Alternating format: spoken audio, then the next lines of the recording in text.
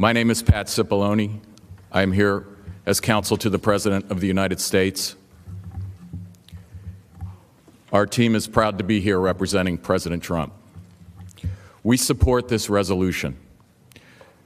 It is a fair way to proceed with this trial. It is modeled on the Clinton resolution, which had 100 senators supporting it the last time this body considered an impeachment.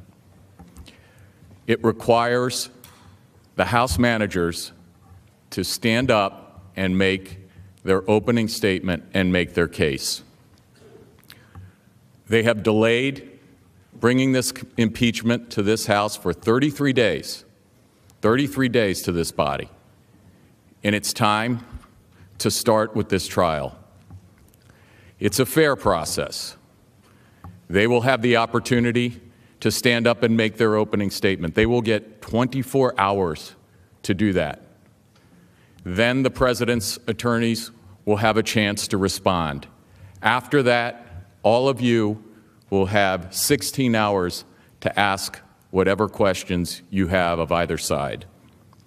Once that's finished and you have all of that information, we will proceed to the question of witnesses and some of the more difficult questions that will come before this body.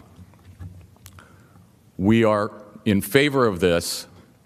We believe that once you hear those initial presentations, the only conclusion will be that the president has done absolutely nothing wrong and that these articles of impeachment do not begin to approach the standard required by the Constitution, and in fact, they themselves will establish nothing beyond those articles. You look at those articles alone and you will determine that there is absolutely no case. So we respectfully ask you to adopt this resolution so that we can begin with this process. It is long past time to start this proceeding, and we are here today to do it. And we hope that the House managers will agree with us and begin this proceeding today.